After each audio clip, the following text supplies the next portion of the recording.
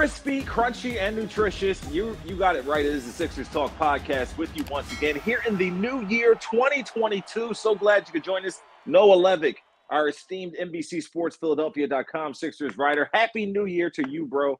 How you feeling? Happy New Year to you as well. Uh, I'm feeling okay. Yeah, it felt like the new year began like 2021 when we got this storm of pregame Sixers news last night uh, before they played the Rockets. So that was almost comforting. Deja vu like, right? Yeah, the, the, familiarity of just, you know, the calendar can change, but uh, the Sixers are the Sixers, uh, and they're a team that uh, tends to like a little bit of drama. So uh, we're, we're back in business. Hey, man, it's like either you're getting like the full on drama, a little diet drama, but there is the drama that's always there. But you know, they could be like the Eagles who have like a dozen dudes on the COVID list after beating Washington. So I guess glass half full, Noah. But um, we will get into uh, some of that drama um, with a bit later with Tobias Harris, and it's kind of like a little macro micro situation. I think with this team right now, macro they're climbing up the standings. The wins are stringing together. Joel Embiid is playing uh, virtuoso, as I like to say. Um, and we'll get into Tobias and his back and forth with the fans in a bit. But let's stay with the macro right now, Noah. And uh, yeah, um, the Sixers were without. Suddenly, uh, Tyrese Maxey was in the protocol, joining Matisse Thybulle, who was already in the health and safety protocol uh, pregame. And on the flip side, the Rockets were down two of their best guys with Kevin Porter Jr. and Christian Wood both suspended because of an altercation uh, with uh, John Lucas, where neither of them played after the halftime in their last game because of a spat. So uh, both teams a little less than full strength, but the Sixers end up getting the 20 point victory, albeit once again uh, a slow start and a tight game at halftime um, where I guess Keith Pompey's question, if we want to bring that back up, uh, kind of continues to have some merit with the Sixers continuing to play down to lesser teams, a 10 win Rockets team, one of the worst in the Western Conference for sure. Um, but with all that said, Joel Embiid shines his brightest uh, at home in moments like this, and the team still under 500 at home. Also worth noting as they uh, start to climb closer toward that. Um, just give us your impressions of the awesomeness that Joel Embiid showed us on the court last night. Well, I think it just continues to look very easy for him. There was one play in the in the first quarter where he missed a few point back, uh, point blank shots, but a little Moses Malone action. He kind of went back and mm-hmm. got it. yeah, patted patted the rebounding stats a little, but right uh, against a familiar foe in Daniel Theis, uh, you know, who opposed Embiid quite a few times with the Celtics. Uh, everything looked comfortable, and he established deep post position quite often and handled double teams well. Although he wasn't pleased with his six turnovers at the end of the night, but uh, triple double, number three of Embiid's career, and the transition playmaking was again a feature of his game. Had one very nice euro step uh, into a thunderous dunk and uh, he also is just so smooth these days as a facilitator in transition too, which though he did not name Ben Simmons, he admitted the Sixers don't have their point guard, and therefore the circumstances do merit Embiid doing a little bit more uh, when it comes to just grabbing a rebound and heading up the floor and uh, making something happen with the basketball. So uh, he was great. He's been great against most teams. Um, you know, during this recent stretch, just wrapped up a month of December when he averaged, I believe, 29.6 points uh, on 49.6, like 39.1, 84 ish shooting splits. And that included the first game of the month when he shot uh, three for 17 against Boston. So playing at a high level, uh, you'd expect the Sixers to dispatch the Rockets as they ultimately did, winning this one by 20, uh, regardless of you know whether Embiid is at that elite level. But um, yeah, continuing to play very very good basketball in the new year. I think we'd be remiss uh, not to mention. You mentioned his December and the way he started it and his numbers from that month, the way he ended it uh, since our last podcast with the miraculous, um, well, no, I guess not miraculous, but fantastic game against uh, the Brooklyn Nets and going, you know, nose to nose with Kevin Durant and the competitiveness that those two put on display and the waving goodbye to Brooklyn and, and the whole bit that carried right on over into this Rockets game where the Sixers haven't been, you know, fantastic at home for whatever reasons in this weird, you know, COVID pandemic induced season. Um, they haven't had the uh, stellar home record that they've enjoyed the past few seasons, but 20 wins here for the Philadelphia 76ers, not far from that upper echelon of the Eastern Conference uh, as the Brooklyn Nets and um, the Chicago Bulls are sitting there in one two. Um, uh, you know, you look at Joel Embiid and his performance, and you know what, he's been doing in the month of December. Here he is carrying it over in January. You gotta, you know, no Nikola Jokic is having an incredible season, but you got to give Joel Embiid some MVP consideration at this point. Um, whether it's Steph and KD or whoever's in that conversation, Joel has been really putting up great numbers and performing with his team, winning games as well. Probably has some catching up to do, but he plays like he did in December for the rest of the season, yeah, you'd figure he'd be in that picture, especially since I'm sure folks around the league will recognize and appreciate the circumstances in Philadelphia where Ben Simmons is under contract but not playing basketball. Uh, and Joel Embiid has needed to step up on both ends of the floor.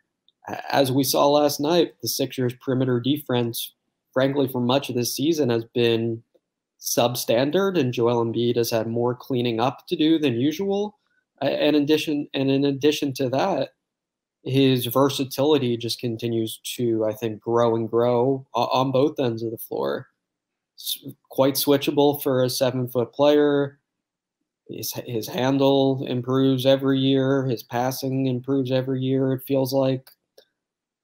I think MVP consideration to me doesn't feel especially probable, but uh, he's one of the few best players in the sport right now. There's no doubt. Uh, Georges Niang uh, a few days ago said he's a top five, top three player right now, and even more than that, um, he admires that Embiid is, is dedicated to being a leader of this basketball team and trying to get the most out of the other four players on the court as well. And that's something a lot of the Sixers have commented on that um, his leadership uh, is a very noticeable component of his of his game, in addition to all of the impressive on court production. I'm also impressed. You know, it's, it's one thing. You know, we kind of missed out on a few of those matchups earlier in the season because of Embiid having COVID with him and Rudy Gobert and him against Denver and Nikola Jokic. But he's going nose to nose with perimeter players and Kevin Durant. Like, and you know, okay, yeah, uh, it's one thing to be you know dominating the the front court or excuse me the um underneath the basket, but you know, and the front court, but you know, you you're going against backcourt players and you know uh, showing off you know your handle and you know bringing the ball up the court and things like that, continuing to fester that unicorn ideal that he is just you know a once in a lifetime type of player. Yeah, um, we we would like to see you know more consistency in, in some ways where he you know sometimes allows guys to get to the rim in certain situations where I think he can contest or what have you, and maybe he's worried about you know getting the ball out the rim and going the other way. But you know we just continue to see him do things that we haven't seen, and you know the leadership and all of that stuff just continues to want you to get him in a situation where he can get more help and the help he got last night was from an unlikely source in Furkan Korkmaz, who, for a good stretch of the game, deep into the third quarter, he and Embiid were the only double-digit scorers um, on the floor for the 76ers, um, with Tobias and Seth both struggling. Um, what did you make of Furkan Korkmaz stepping up to be, you know, Embiid's number two, uh, particularly coming out shooting really hot in that first quarter? I think he had three threes. Definitely, yeah. Just one one final little nugget on on Embiid that I that I thought was telling uh, from Dan Burke, the acting Sixers head coach with Doc Rivers and COVID protocols. Reno so far. Uh, I believe two two and zero, oh, but yeah, undefeated. Uh, I think he and and the Brooklyn one, obviously a, a high quality one. Uh, but Dan Burke, who was a long time uh, defensive assistant with the Indiana Pacers, was quite honest in saying like when he was with Indiana, the idea was like wear Embiid down, get him into the fourth quarter, and he probably wouldn't be that much of a problem down the stretch because of his his conditioning was problematic. And he said since he's joined the team, he, he's just noticed the strides Embiid has made in that area. So that was a little light bulb be for me, just eh, because sometimes when you're around this every day, you feel like you're exaggerating or overstating these storylines of Embiid's in better shape than ever. Embiid's working on the leadership more than ever.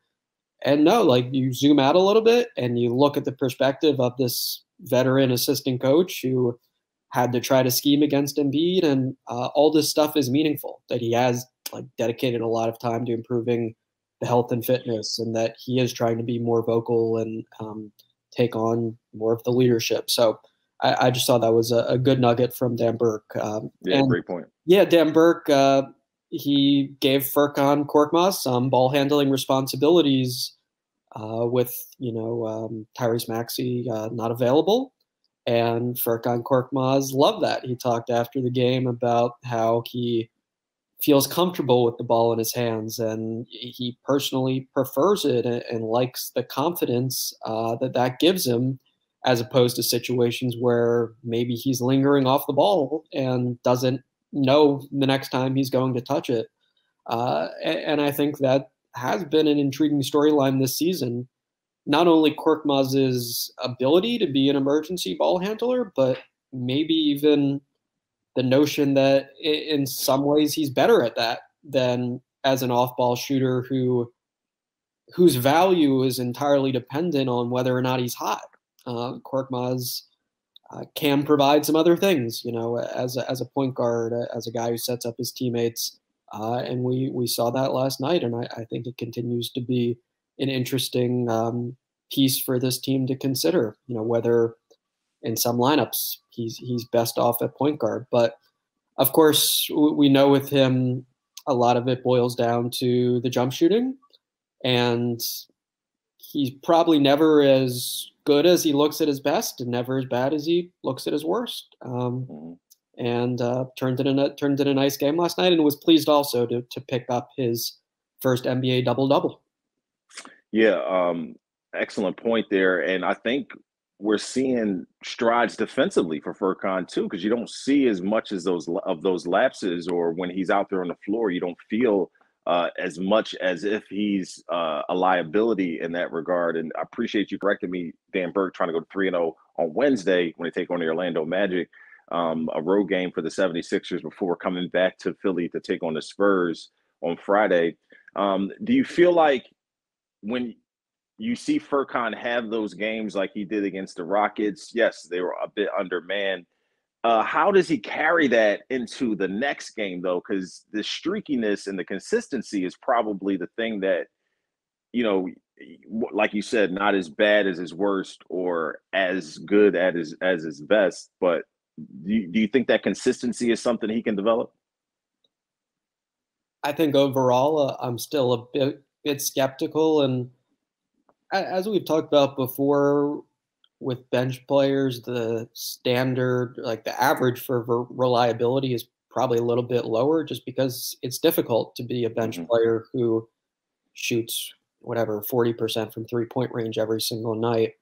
Uh, I think perhaps if if you're trying to take an optimistic slant on it, the ball handling angle maybe gives him a little better shot to turn in consistent contributions because at least uh, he's not hanging out off the ball and at least his value isn't so much dependent on, on, on whether he's making jump shots. But I, I think the Sixers still consider him a rising player. That they still like that he's young. They still think there's untapped potential there. But I think in, in terms of the way he plays, he is who he is at this point in many ways is my personal feeling. Um, but we shall see. He surprised us a lot. Maybe he'll continue to surprise us. I think ultimately he is a streaky player. He has improved a bit defensively, but like whether he can play and make a positive impact in a postseason series, a lot of that is still going to ride on the jump shooting. I said this was kind of like a macro micro uh, type of approach uh, with the Sixers uh, reaching 20 wins. They get their fourth straight W. They're heading to Orlando with which potentially could be another victory, as well as their game Friday against the Spurs. Suddenly, they have a chance to string some wins together. Uh, that letdown against the Hawks, notwithstanding, they could have, you know, even better win streak going right here. Um, you know, if we as we dig into the micro, we're faced with once again the Sixers being in a situation where they have a slow start. They play down to their competition a bit. If not for Furkan Korkmaz's hot shooting in the first quarter, they would be even in a even deeper hole heading into that second quarter. Um, are as you watch the games, is there something you can attribute the slower starts to? Is it just the uh, un you know upheaval of the lineup and guys being in and out?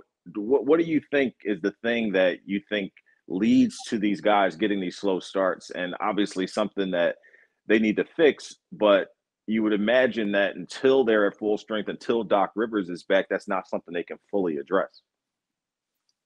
Agreed. I think there's not necessarily a common thread in some of these games. Zone defense has been a problem. Last night, when Houston played zone, the, the Sixers actually handled it well. I think lack of energy has has been an issue in other games. I don't mm-hmm. think that was especially bad last night.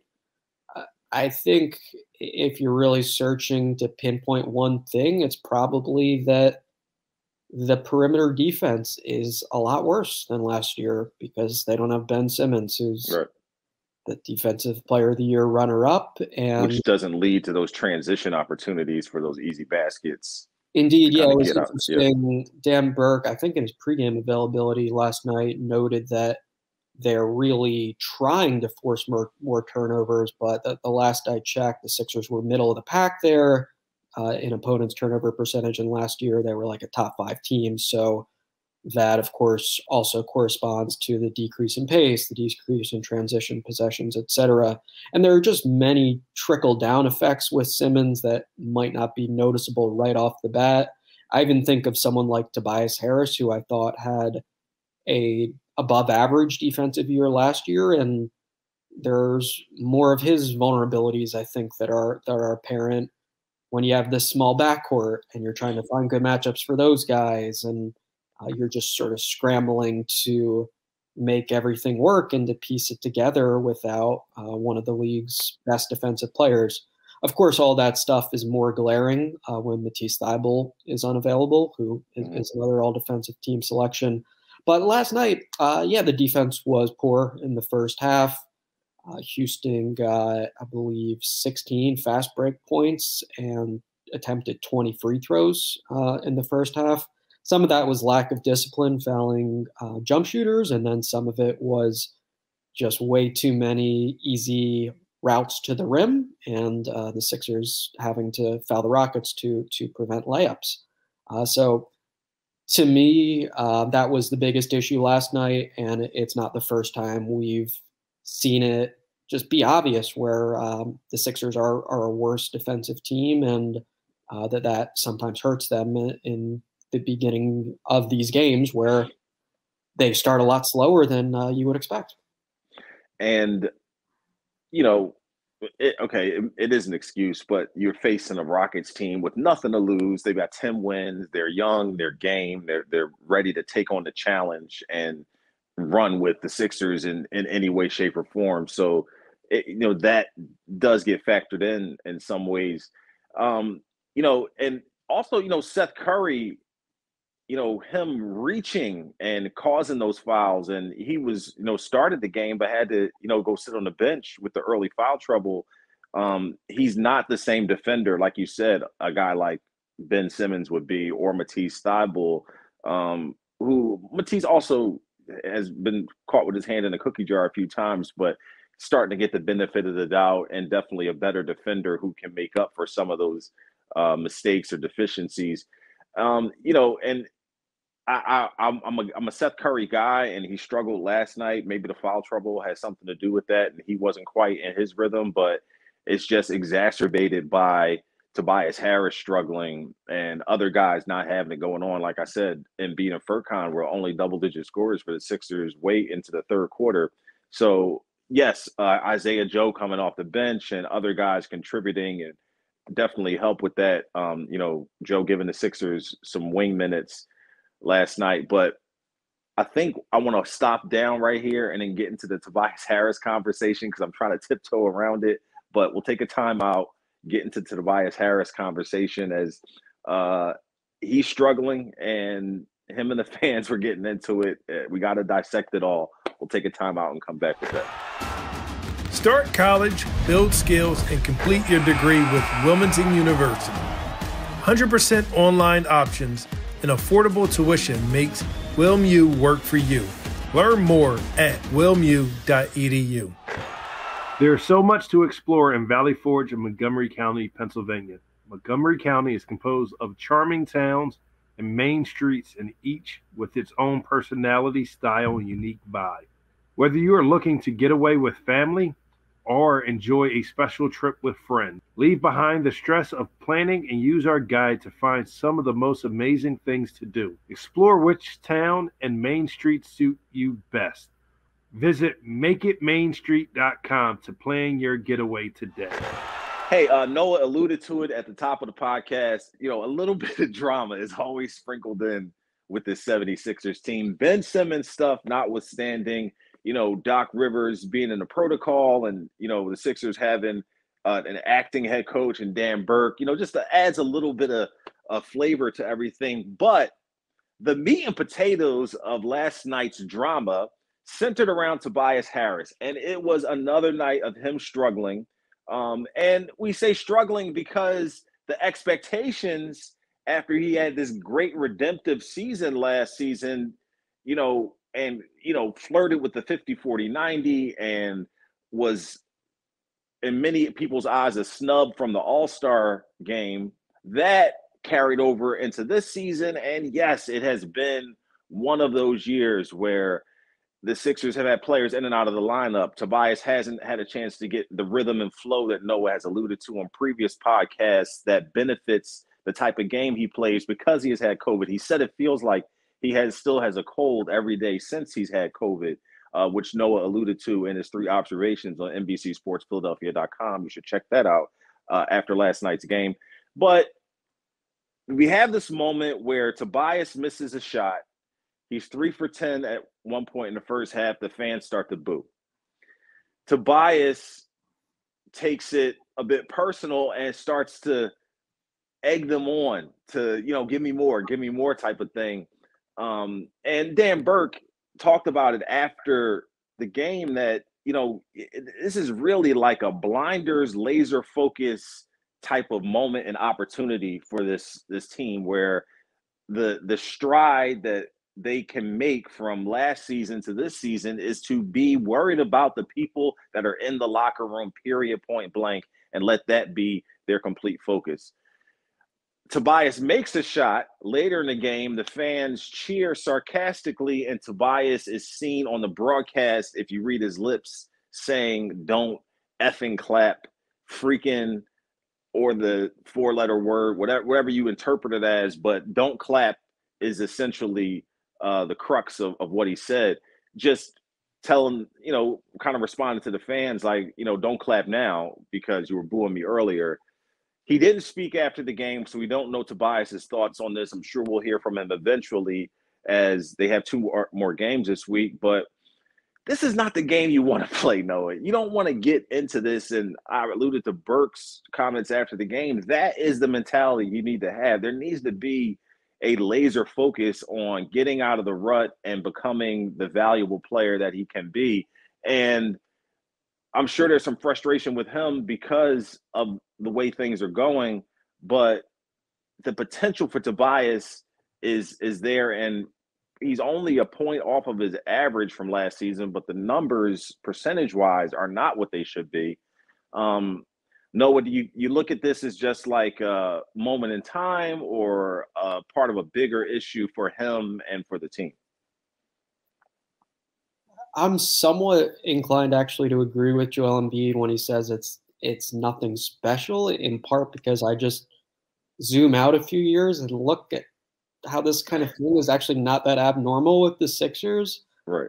Something that comes to mind is uh, when Ben Simmons said, like in in good spirits and like somewhat of a joking tone, that the Sixers were scared to lose in front of their fans. Uh, I think that like the boos uh, as much as you might want to preach the idea that you should have the blinders on and you shouldn't be aware of anything around you, like players do hear them.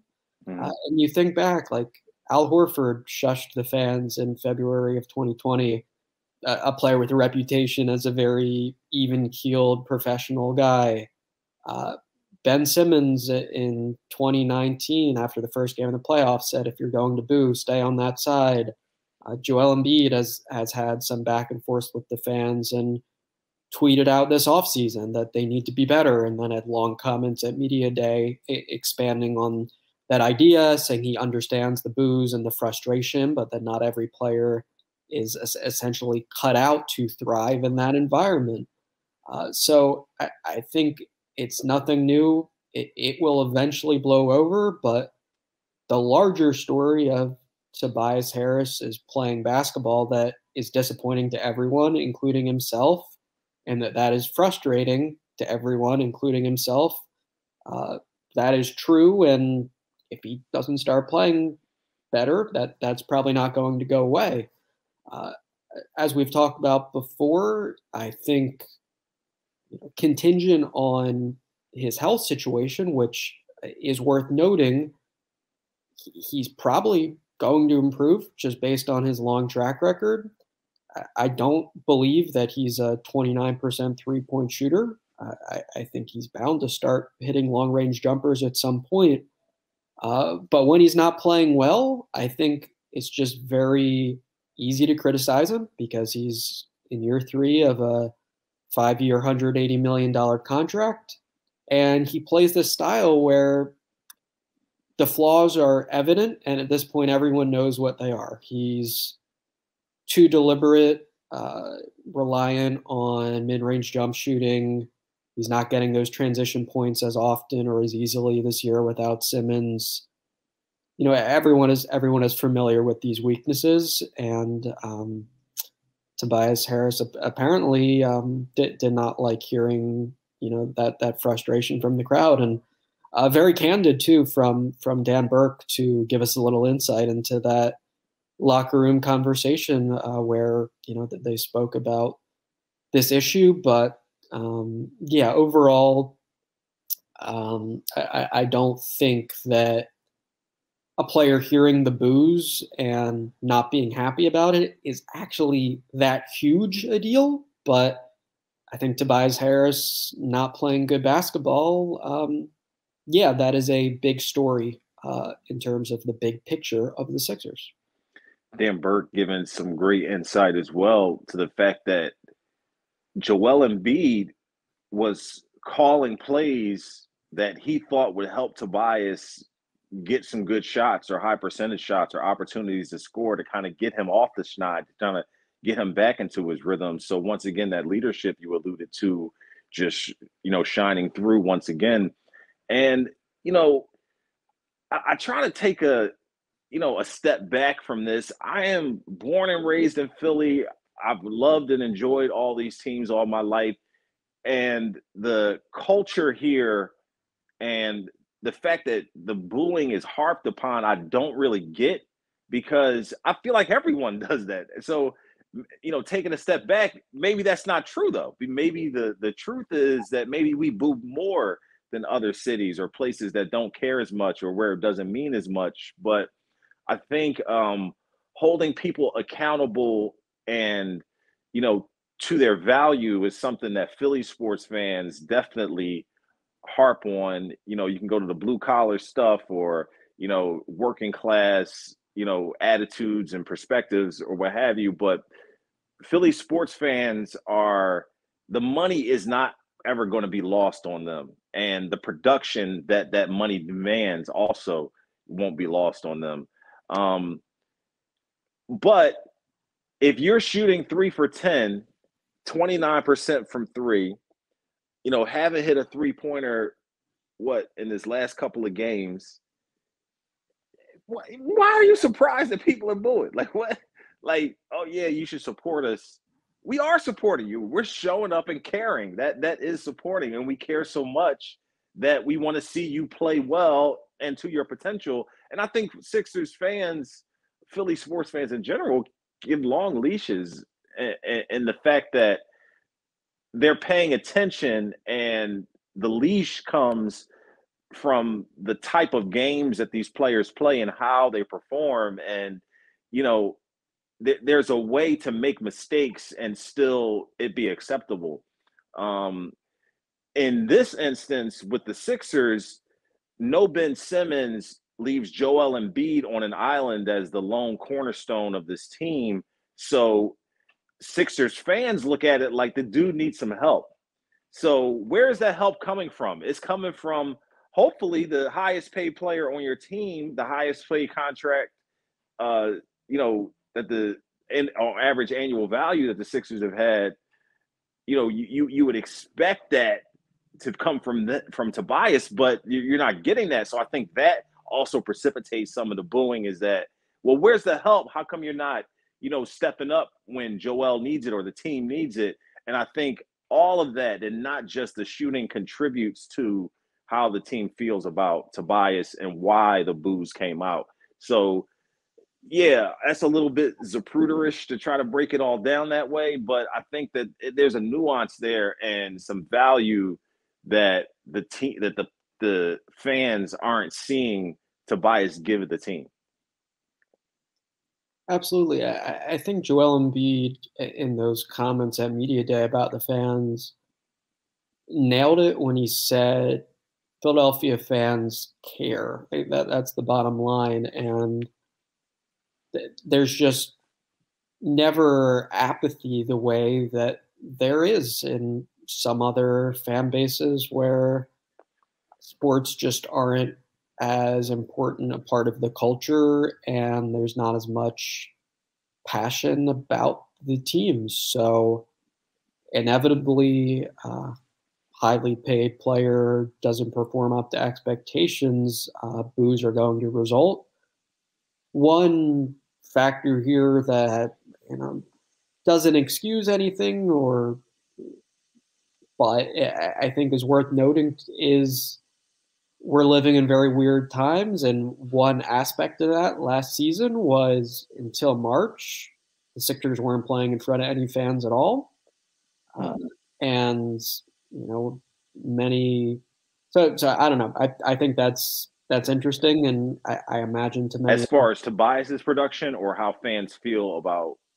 No, just as far as perhaps him being in a spot where it's a little jarring to hear boos uh, and just not, you know not again not to not to excuse anything not to say that back and forths and confrontations with a fan base are the ideal you know state of affairs but um, i think just it's been weird times for fans and players alike these guys were in a bubble. Then they were playing games in their home, home arenas with no one there. Then they were there at 50% capacity.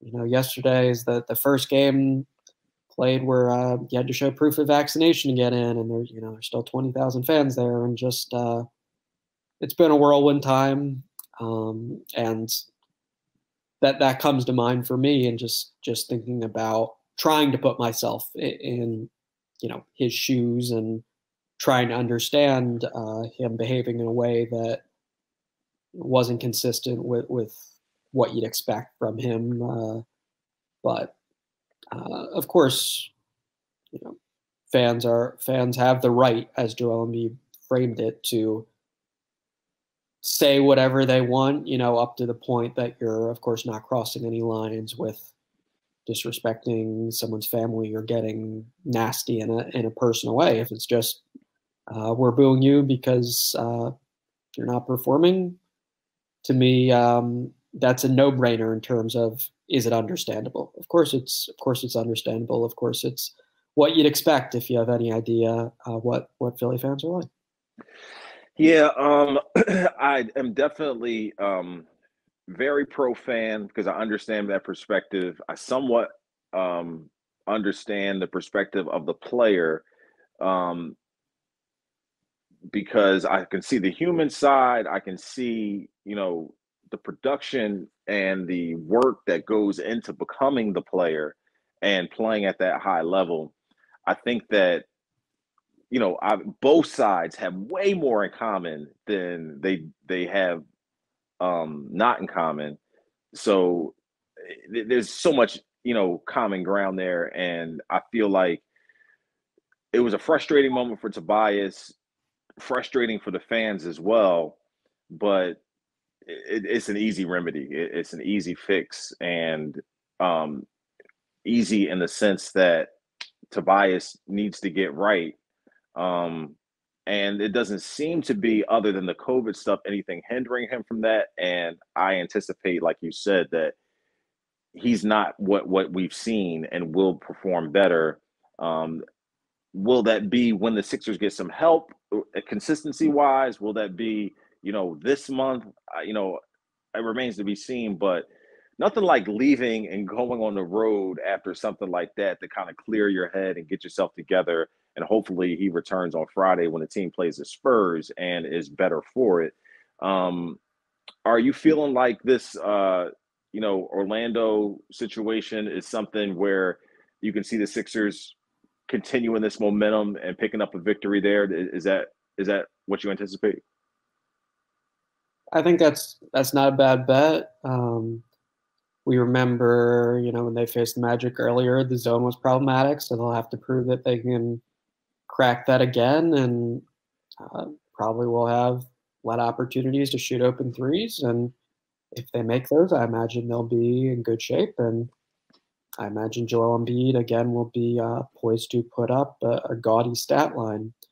Uh, as far as Harris, I, I, I, certainly agree with the point that he's like he's likely to improve. I just think the dynamic with the fan base it is tough in part because you can't you know erase the contract from history and even if he plays at or near the level he did last season i think there's still a large chunk of people who will feel that's not sufficient as a complementary scorer to Joel Embiid and who will also have bitter memories of, of last year's postseason when in important games, including that game seven, he didn't play as well as many folks hoped he would have. So, um, yeah, it's it's I think difficult to imagine him suddenly winning a lot of folks back over, but at the same time, I'm not sure.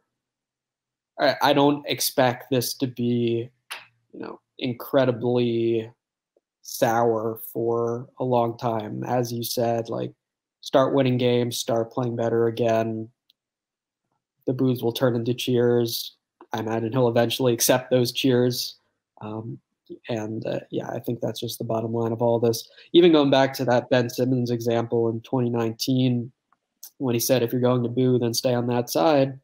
Like by game two, he was getting a standing ovation and encouraging the fans to, to give him more noise because he, he played a great game. Um, so that that's not to say the fans are fickle or disloyal or anything, but I think most folks want to embrace winners, and Tobias Harris like helps the Sixers win. Uh, I think some of those boos likely will turn to cheers. Uh, but yeah, as far as the Orlando Magic game, uh, I think you pencil it in for uh, for a W, but the Sixers haven't had a ton of routine games, so uh, we shall see. Sixers climbing up the standings, 20 wins on the season. Only a handful of Eastern Conference teams have reached that mark. The Sixers among them. San Antonio uh, awaits Friday and South Philly. Uh, vaccination cards in tow if you are coming to the arena. Um, for Noah Levick, I'm Danny Pommells. Thanks for listening to the Sixers Talk podcast. We're brought to you by Wilmington University, Wilmu Works. We'll see you next time.